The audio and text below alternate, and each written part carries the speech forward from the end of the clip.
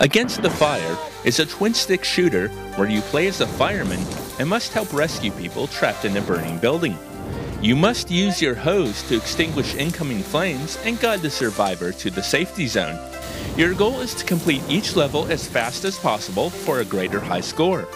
You control the firefighter by using two joysticks at the bottom of the screen, one for movement and one for your hose. As you progress through the level, you must use both sticks to effectively dodge and extinguish the flames and lead your survivor to the safe zone.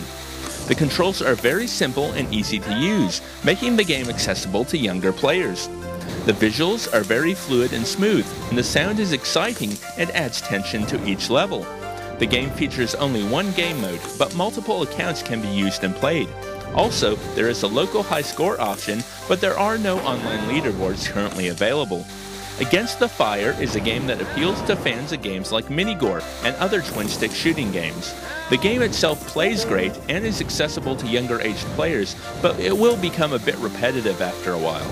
It would be nice if upgrades and other objectives were introduced via an update or two, but the gameplay is still solid and will surely provide you with a few cheap thrills.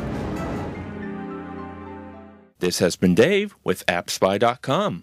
We review, you decide.